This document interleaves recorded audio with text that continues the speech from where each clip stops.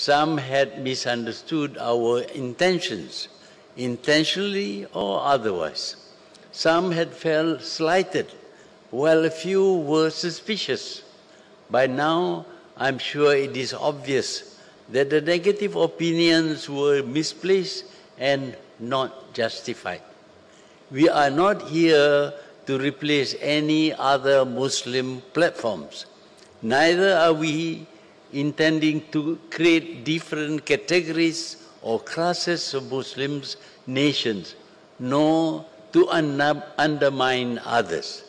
It is a congregation of a few Muslim nations of which some of the leaders wanted to get together and discuss some areas that are possible for us to establish collaborations that will first benefit the nations involved and then taken on to a bigger platform and collaboration to benefit the Muslim world as a whole. The idea was to come together, assess our strengths and weaknesses, as well as our assets. Then we will use the strengths of one another to overcome the weaknesses we have. Simply put, it, if one of us have an expertise in a particular area, we offer it to another or all the other participating countries and establish a realistic collaboration. Further to that, we had from the start identified seven pillars that we wish to focus on.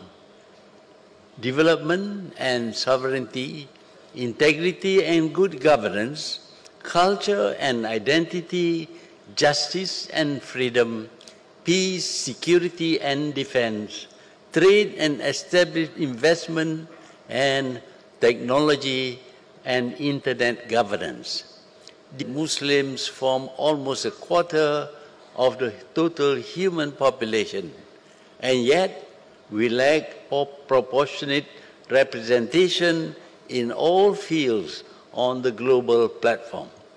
There is such sanctions and embargoes are not going to be exclusively for Iran and Qatar.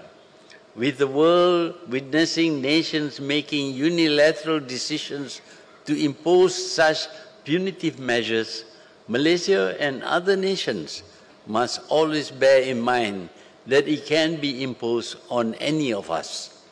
That is the more, that is the more reason for us to be self-reliant and work towards that which with other Muslim nations to ensure that if and when such measures are imposed upon us, we are capable of forcing it.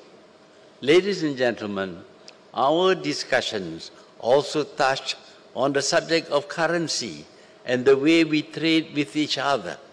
I have suggested that we revisit the idea of trading using the gold dinar and barter trade among us.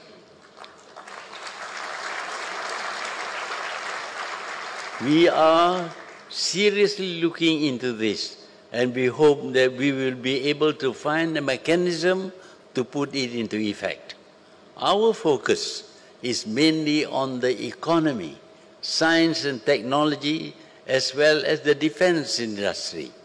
But the most important aspect of all the focus is the need to be able to produce and create new indigenous technologies.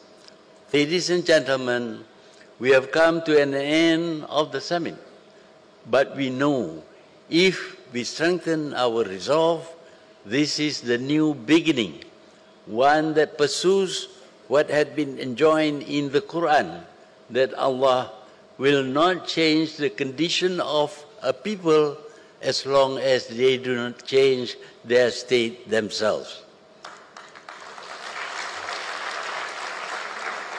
That is what we hope to do. We want to save ourselves and the Muslim Ummah, and we will preserve, persevere in this effort. We hope that this point onwards, from this point onwards, our other Muslim brethren will see for themselves that what we intend to do is to unite the Ummah on strategic and advanced technologies. We reaffirm our creed that all Muslims are brothers and that this small step we have taken will be the beginning of a lengthy and fruitful journey with the rest of the Ummah. May Allah subhanahu wa ta'ala help us and guide us in our endeavor. I thank you.